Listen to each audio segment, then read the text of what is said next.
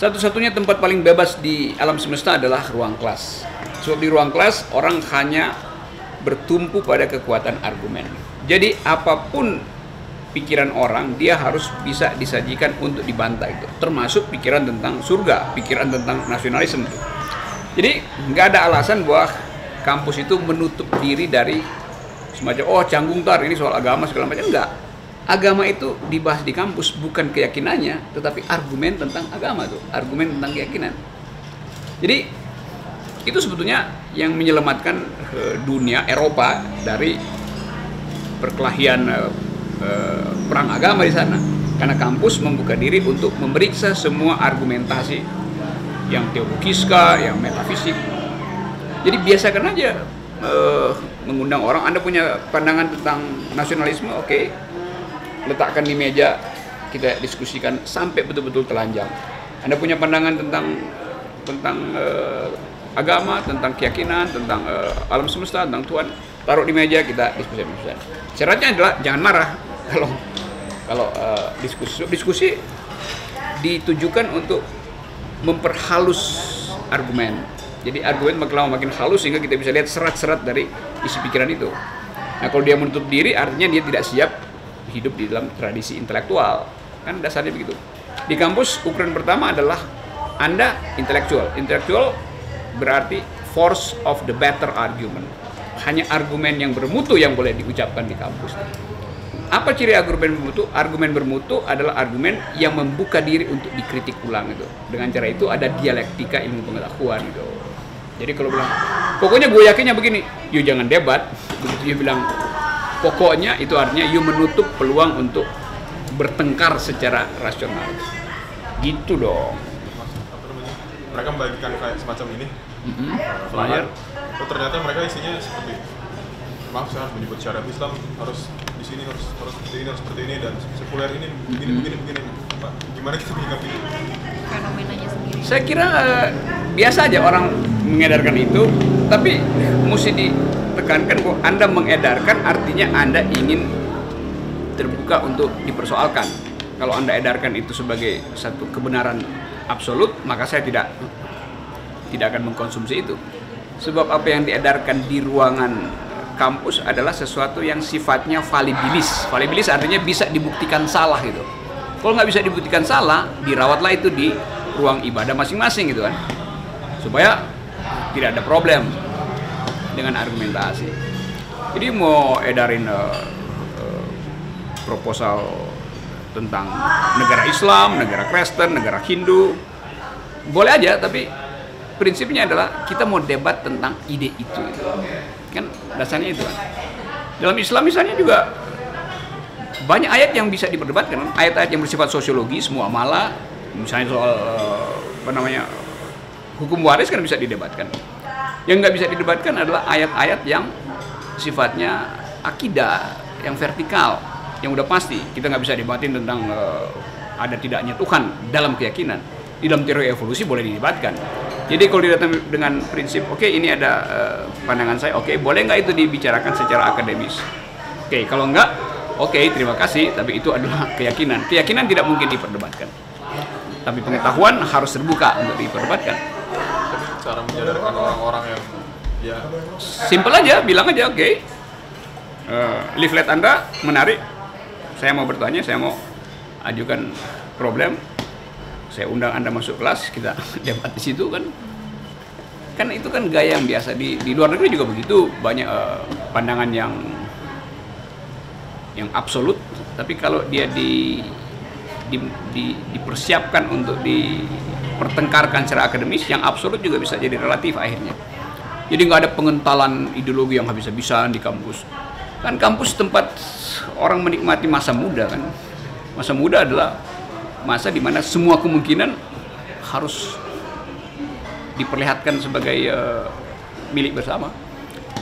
Dengan dengan hanya dengan cara itu kampus bisa tumbuh. Kampus adalah tempat kemungkinan diolah dengan akal gitu. Bukan tempat keyakinan. Kalau keyakinan adanya di eh, ruang-ruang privat, ruang ruang uh, ruang agama masing-masing orang. Itu. Jadi mesti ini mesti saya kira mesti terus terang mengatakan buat apa yang anda sodorkan mengundang pertanyaan saya. Kalau Anda terbuka dengan pertanyaan itu, kita bisa bercakap-cakap. Kalau Anda menutup diri, saya juga mengembalikan aja. Kembalikan aja kan leafletnya tuh. Ini mas apa Iya. mungkin kan mas juga dosen ya Iya. Mungkin juga mengenal mahasiswa mahasiswa Iya. Indonesia zaman sekarang lah ibaratnya mungkin berbeda tahun 98 yang sangat menggebu-gebu dan Mm-mm, politis sekali gitu mm-mm. kalau sekarang kan mungkin lebih ke arah ya udah gue cepet-cepet lulus deh Iya. ngapain gue ngurus-ngurus ini penting gue kerja dapat uang dan gue hidup mapan gitu dan sedangkan eh, kalau dari tadi saya dengar kayak Mas Rocky kayak bilang kalau eh, eh, apa poli, eh, proposal partai dan pembaktian masyarakat tuh salah satunya adalah hal itu gitu sedangkan mahasiswa sendiri pun yang saya lihat teman-teman saya pun nggak terlalu banyak gitu yang concern di bidang itu gitu Iya. apakah mas sendiri kayak yakin nih Indonesia bisa dibawa ke hal yang lebih baik dari Apa yang disebut? dari apa dan tidak terlena romanti romansa romansa sejarah dulu Mm-mm. gitu? Kan saya selalu anggap bahwa kita harus tumbuh lebih berkualitas. Kita harus berpikir lebih tajam. Kenapa? Sebab mahasiswa kalau dia mahasiswa Unpad misalnya, saingannya kan bukan mahasiswa ITB. Saingannya adalah mahasiswa Boston, saingannya adalah mahasiswa eh, NU misalnya di Australia. Jadi dia mesti melihat bahwa kompetisi itu sekarang sifatnya global itu. Nah, dengan cara itu kita bisa produksi apa yang disebut ilmu pengetahuan. Karena ilmu pengetahuan kan ruang kelas itu kan se selebar Wikipedia, seluas Stanford Encyclopedia, bukan sekedar apa yang ada di dalam kelas. Nah, kalau dulu misalnya eh, gerakan mahasiswa tahun 80-an jelas lebih lebih eh, lebih susah, lebih keras. Misalnya kalau dulu Anda mau baca buku Das Kapital, The Capital, itu mesti dibungkus pakai kertas supaya nggak kelihatan judulnya itu. Buku-buku kiri misalnya, buku-buku yang anti militer. Kalau lagi diskusi kayak begini sekarang di sini misalnya, kita mesti pastikan bahwa jendela belakang itu dibuka ya karena kita mau loncat kalau diserbu. Sekarang kan justru nggak ada kan. Jadi justru di dalam keadaan sekarang lebih produktif dengan akal pikiran kita sebetulnya dibandingkan dulu. Dulu waduh di diskusi begini dua jam kemudian udah dipanggil dengan daftar resmi ini hadir ini ini. Intel udah ke mana-mana. Jadi kesempatan mahasiswa untuk berinvestasi menumbuhkan infrastruktur politik akal sehat ada hari ini sebetulnya itu lebih lebih lebih penting kita pikirkan ya ada aja orang merasa oke dia investasi untuk perbaikan hidup ke depan oh iya tapi kalau politik nggak berubah saya saya katakan tadi ya kita jadi eh, apa namanya profesional yang sebetulnya tidak tumbuh dari dalam eh, dengan energi kita sendiri gitu. Kita berharap nanti dunia akan berubah enggak dunia nggak akan berubah kita yang mesti merubah dunia itu.